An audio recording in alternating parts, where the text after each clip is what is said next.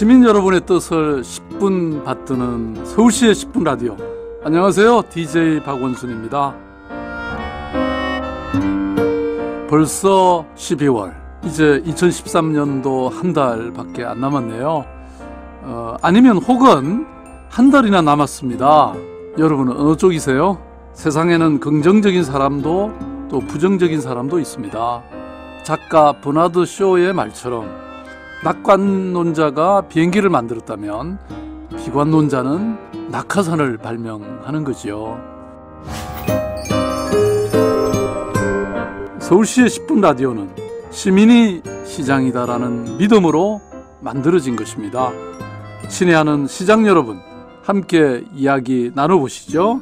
트위터 골뱅이 서울마니아, 골뱅이 원순 파악으로 말 걸어주십시오. 그럼 우리의 10분 시작합니다.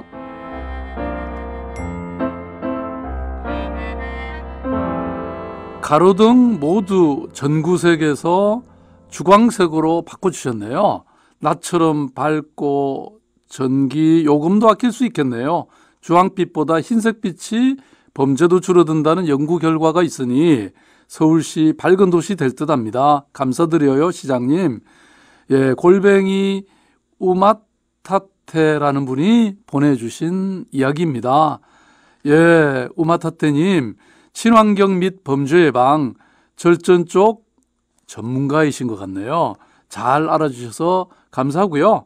그리고 우리 도시안전실의 도시관리과에도 박수 짝짝짝.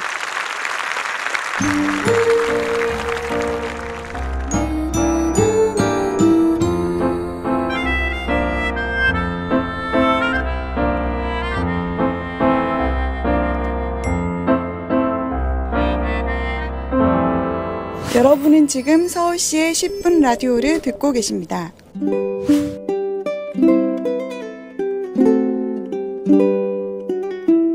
골뱅이 미스터 신안 솔트님의 짧지만 다정한 이야기입니다. 산세 마을 좋아 보입니다. 도시에 이런 마을이 좋아, 많아졌으면 좋겠네요. 공동체 회복 보기 좋습니다. 네. 미스터 신한 솔트. 아마 신한 소금을 만드신 분 맞죠? 예, 반갑습니다. 아, 제가 서울시장 선거 출마 선언하고 제일 먼저 찾았던 곳이 바로 이 은평구에 있는 산세마을이랍니다. 예, 정말 재개발이 취소되고 어, 마을 만들기를 주민들이 힘을 합해서 이뤄냈던 그런 곳인데요. 어, 제가 보니까 뒤에는 산이고 어, 또 텃밭도 있었고요. 그 다음에 굉장히 막 이렇게 높다란 골목이 있었어요. 그야말로 산동네였죠. 예, 그런데 이게 이렇게 아름다운 마을이 됐습니다. 어, 여기 산세 마을은요, 2011년에 처음으로 두꺼비 하우징 시범 마을로 선정이 됐고요. 그리고 서울시에서 예산을 지원받아서 마을 길을 이렇게 넓히고 좀 예쁘게 가다듬었고요. 그 다음에 주민들께서 스스로 쓰레기, 악취, 해충의 온상이었던 축사틀을 마을 공용 텃밭으로 가꾸었답니다. 그리고 마을 텃밭에서 함께 거둔 농작물은 또 어려운 환경에 살고 있는 복지관의 아이들을 위해서 보내줬고요. 예, 이게 어디 저 멀리 시골에 있는 전원주택 얘기가 아닙니다. 바로 서울시에서 이루어진 일이랍니다. 서울에서도 얼마든지 마을 만들기, 즉 공동체 가능하겠죠, 여러분? 또 최근에 보니까요. 서울에서 따뜻한 마을 공동체 사례가 산세 마을 외에도 많습니다. 예를 들면 은평 제강말 마을 아파트는 층간 소음 해결 위해서 게시판을 만들었습니다. 예컨대 우리 집에 돌잔치가 있어서 오늘 밤에는 조금 시끄러워도 이해해 주실 거죠? 라든지 예 우리가 만, 아, 생산한 텃밭 고구마 필요하신 분 가져가세요. 라든지 게시판 하나로도 동네가 싹 바뀔 수 있답니다. 예, 지금까지는 너무 정말 경쟁이 많고 살벌하고 이런 세상, 너무나 피곤한 삶을 우리가 살아왔죠. 그렇지만 이제는 이런 많은 행복들을 통해서 이웃끼리 서로 마음도 통하고 정도 나누고 그렇게 행복해질 수 있는 이런 마을 만들어지면 많아지면 좋겠죠, 여러분? 또 아파트 관리 주민학교라는 걸 열었는데요. 이게 또 인기가 굉장히 좋습니다. 이렇게 되면 서울에서의 삶이 좀 달라지겠죠. 네. 노원구의 어느 아파트는요, 옥상에서 텃밭을 가꾸어서 수박도 생산한답니다. 예, 수박 그 자체가 중요한 게 아니고요.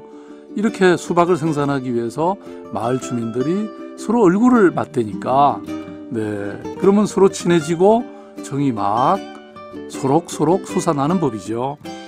또 요즘 층간소음 때문에 심지어 뭐 살인 사건까지 났다는 그런 뉴스 들으면서요. 아까 제가 소개해드린 제강말 마을 예, 이렇게만 되면 아니 살인 나겠어요. 그러면 누가 위에서 떠들면 아 저는 아직도 잠 안 자고 내일 학교 가야 되는데 이런 걱정을 해주시지 않겠어요?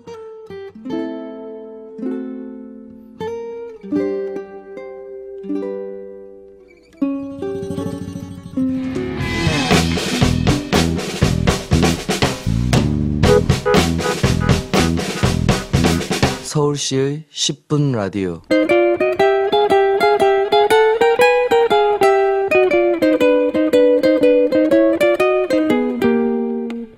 골뱅이 원순 파악으로 들어온 얘기 좀 들어볼까요? 시장님, 어려운 일들을 극복하고 나아가려면 어떻게 해야 할까요? 멘토로서 여쭈어봅니다. 그러니까 CNWNA 권 네, 이런 분이 보내주셨어요.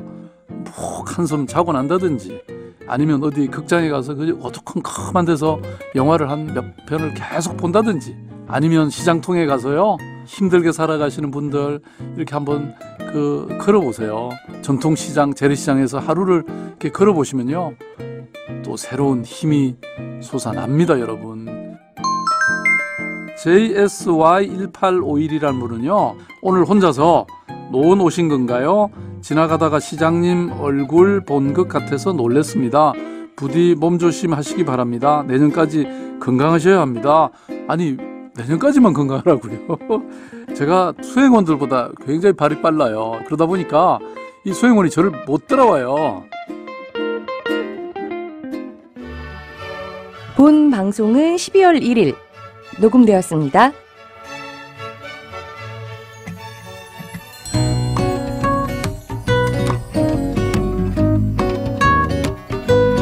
지금 이 순간 한번 볼까요? 예, 아, 여기 로니 진 팍이라고 하시는 분이 보낸 사연인데요. 서울은 이미 도시락이보다 하나의 나라와도 같은 브랜드 가치를 가지고 있는 것 같습니다. 예, 그럼요. 여러분 뭐 예컨대 미국 그러면 미국이라는 나라도 물론 뭐 잘 알려져 있지만 뉴욕 뭐 샌프란시스코 이게 뭐 나라 못지않게 잘 알려져 있지 않습니까? 런던, 영국 아뭐 도시인지 나라인지 잘 모르기도 하죠. 파리 프랑스보다 파리가 더 유명하지 않습니까? 예, 서울도 세계적으로 유명한 그런 도시가 돼야 되겠죠, 여러분. 네, 함께 하시고요. 예, 그 다음에 또 여기 아, 여러분들이 보내셨는데요. 어, 또 중황이라고 하는 분은요, 이런 어, 사연도 보내셨네요. 한 일원으로서 저희가 만든 정책이 직접 반영된다는 게 얼마나 뜻깊은 일인가요? 뭐 어떤 정책을 두고 하시는 말씀인지는 모르지만, 예, 사실 지금 서울시는요, 이 정책, 정책을 듣는 도시입니다. 여러분들이 보내시면, 네, 뭐든지 듣고 있죠. 시장님, 유루, 유리 아세요? 라고 하는 분도 보내셨는데, 유루, 유리? 아이돌 그룹인가요? 예, 죄송합니다. 제가 잘 몰라 뵀네요. 히읗, 시엇 이렇게 쓰신 분은요. 서울 도서관이랑 시민청 정말 정말 좋아요. 늘 가고 싶은 곳이에요. 이렇게 쓰셨는데요. 네, 그럼요. 서울 도서관 가시면 정말 시간 보내기 좋죠. 책도 읽으면서 분위기 얼마나 좋습니까? 이게 옛날 서울시청 청사거든요. 그 다음에 또 시민청도 지하 1, 2층 가시면 뭐 거기 공정무역 그 카페도 있고요. 뭐 곳곳에서 공연이라든지 결혼식이라든지 장터가 열리니까 여러분 여기 언제든지 오시면 하루를 재밌게 노시기 너무 좋습니다.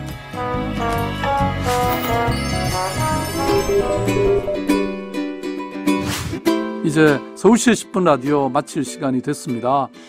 네, 골뱅이 CZRNY라는 분이 이렇게 예, 이런 걸 보내주셨네요. 360번 버스인데 크리스마스 장식으로 엄청 예쁘게 꾸며져 있어요. 하시면서 링크를 걸어주셔서 제가 사진을 봤는데요. 예, 360번 참 좋네요. 정말 예쁘고요. 360번 버스 승객 여러분 기분 좋으시겠어요. 예. 자, 이 방송이 여러분께 들릴 때면 아마 12월일 텐데요. 제가 캐롤 한 곡, 네. 울면 안 돼, 울면 안 돼, 산타 할아버지가 우는 아이에게. 예, 그럼 서울 시민의 뜻을 10분 받드는 10분 라디오. 다음 주에 만나요. 지금까지 DJ 박원순이었습니다. 여러분, 안녕!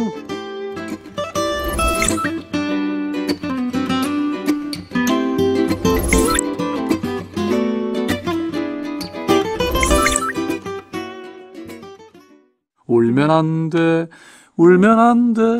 뭐야, 이게. 울면 안 돼, 울면 안 돼. 뭐 그거 써? 그냥.